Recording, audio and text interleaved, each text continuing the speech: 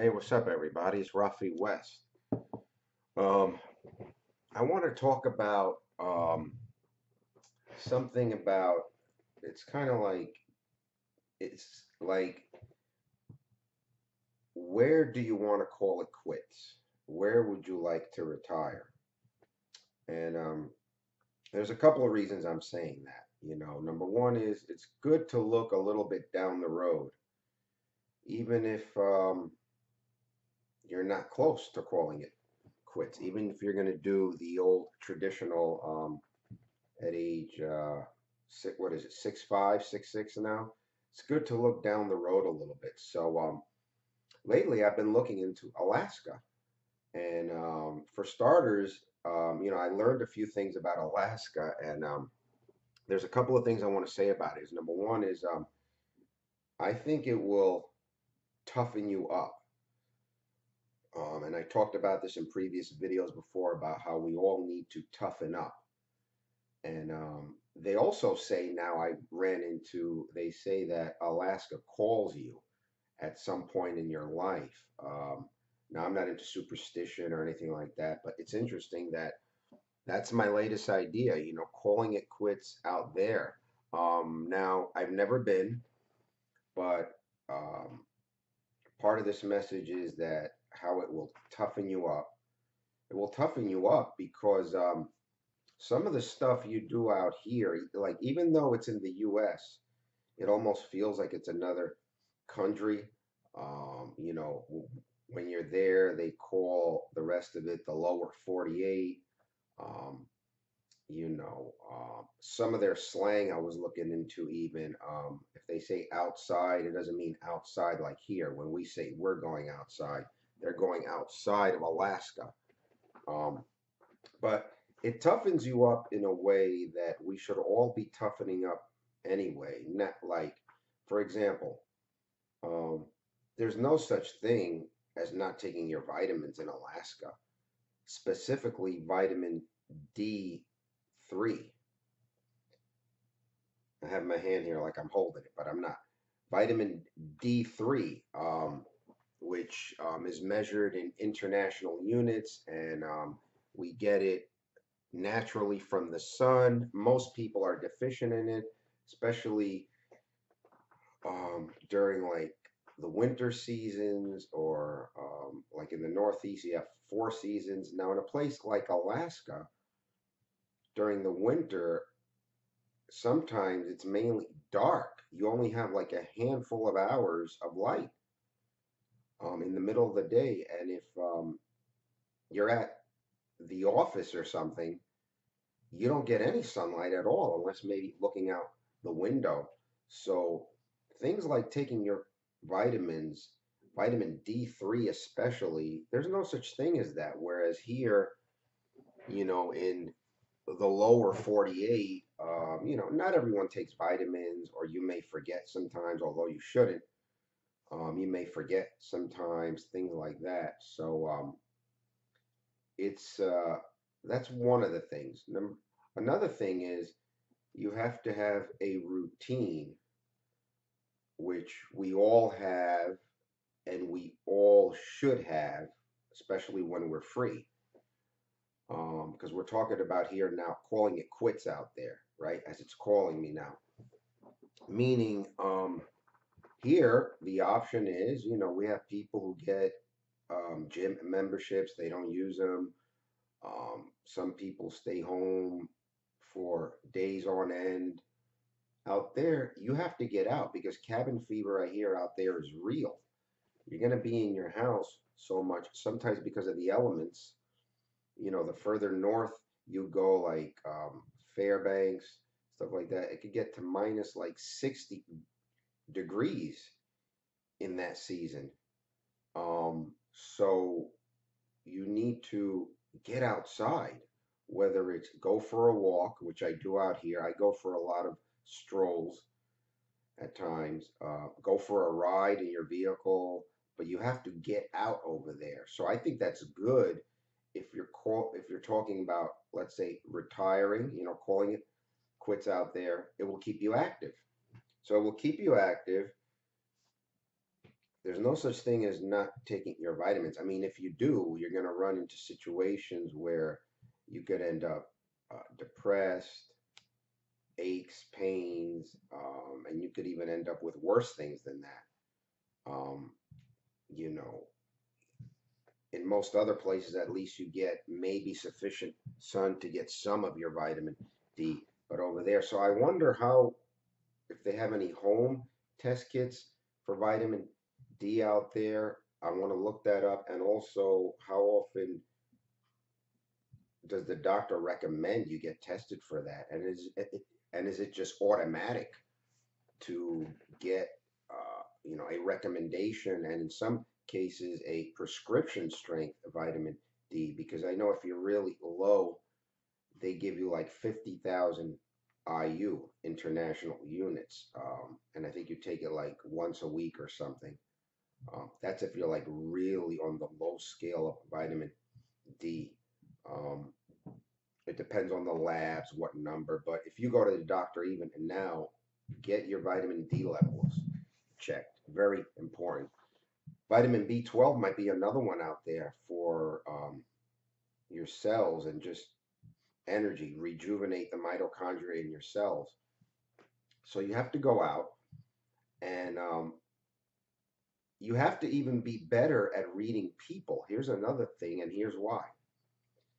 They have this thing of you're in it together out there because it's challenging.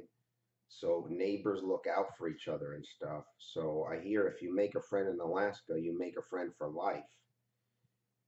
Therefore, you have to get good at reading people because if you let a high narcissistic person into your life or a high Machiavellian person or a high psychopathic person or even a super high anxious person into your life, you're going to get into trouble. So if you're going to make a friend for life in Alaska because they have this community of we're in this together, you got to know how to read people.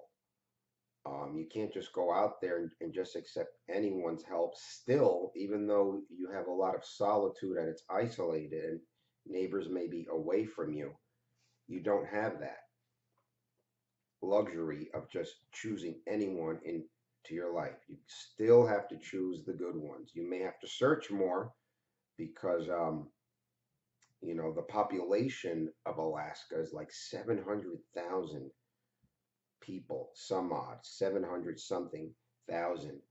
And it is a humongous state. It's bigger than, I think, California, Texas, and Montana combined. Okay? So, um, so you're going to have this sense of community and people.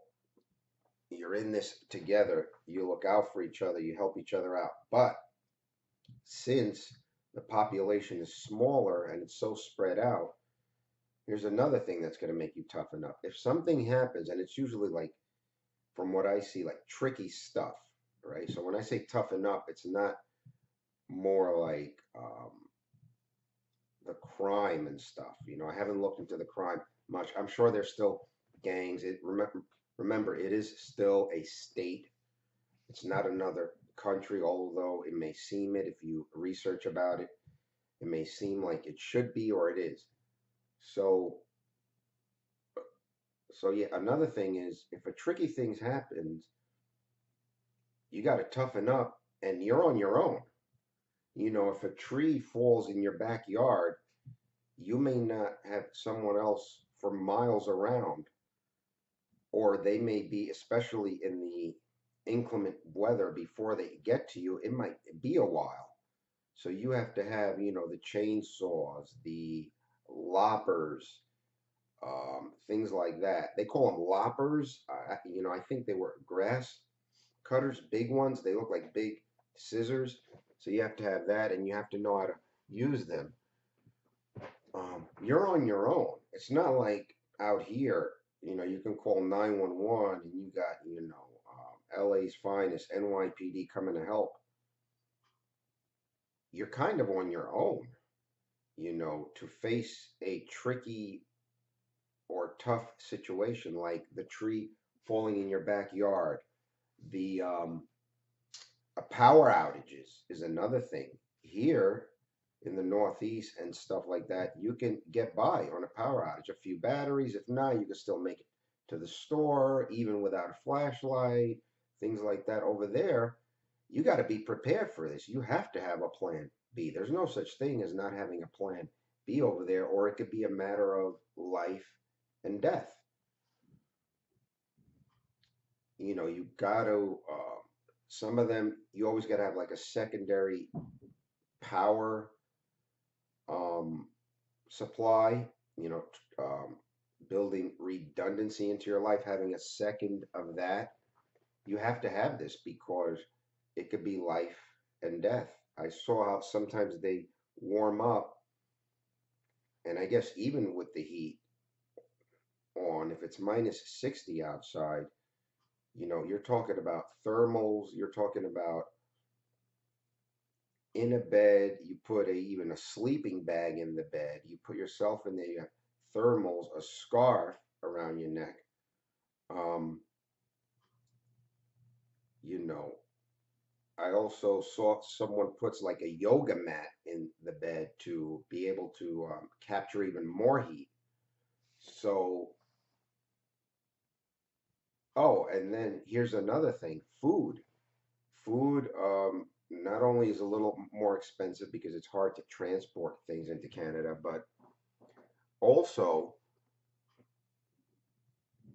maybe you have to start living off the land a little bit. Learn how to pick the right berries or fruits or mushrooms because um, you got to not spend all your loot. It's expensive.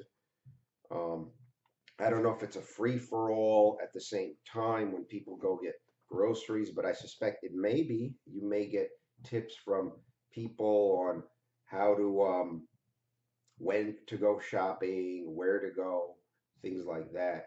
Um, so you also have to toughen up in, um, you have to learn not to eat a lot, like in the lower 48, where most people, they love to eat. Um, you know, they eat a lot. They gourmandize everything. So you got to um, keep that in mind as well. It will control your eating form of toughening up as well. Not be so spoiled and eating all the time, um, like we are in the lower 48. Um, so all these things are forms of like toughening up where like I feel like in the rest of the states, you have an option for these things, right? I mean, you really shouldn't, but I like this look. And if Alaska is calling me because it reminds me of how you need to toughen up. So can Alaska teach us something about toughing, toughening up? I guess should be a good title for this video.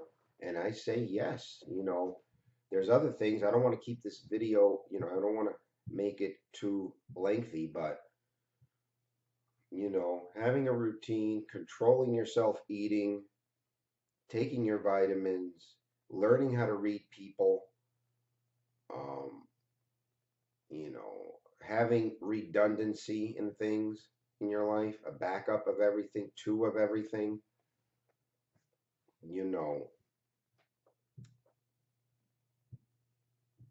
knowing how to fend for yourself because you may be on your own when something tricky or challenging happens.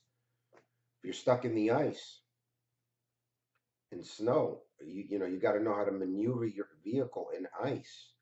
Some people can't even maneuver that here in rain. Oh, it's raining. I'm not going to go in my vehicle. You know, oh, it's raining. I'm not even coming over. You know, let alone go in the vehicle. I'm not coming over as if, you know, they'll multiply when they get wet or something. Um, you you know over there you got to go and you got to toughen it up. You know, um, you got to learn how to maneuver. You got to know how to get yourself out of situations. So in a way, to summarize this, I think it could keep you tough. Things that we should be doing here, even if you're not going to go to Alaska to reside, retire, or even visit. Um, but I think it will call you because it's calling me now in a weird way. Um, yeah, Alaska. I knew it's always been there, but um, I like researching about it. Um, the people seem nice. You still have to read people. I will have that same approach. And um, yeah, I mean, um, just listed off those handful of things. So, what do you guys think? Can Alaska toughen you up? Are these things we should be doing in the rest of the world as well? What do you guys think? I think so. I think it would be a good challenge in toughening up, um, no matter at what age either.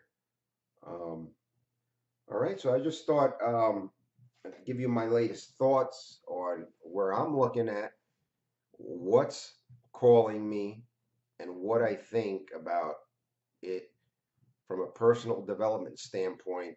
Those handful of things that you should be doing anyway. Over there, you have to, or else you're going to be, you're going to be, you know, maybe, maybe in trouble, or you're going to have an extra challenging time.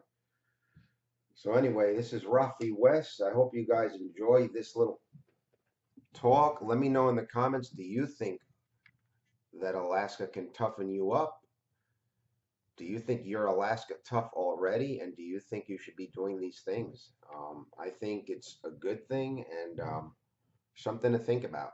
All right, this is Rafe West. You guys take care. Have a good one. And uh, until uh, the next talk. All right, guys. Peace.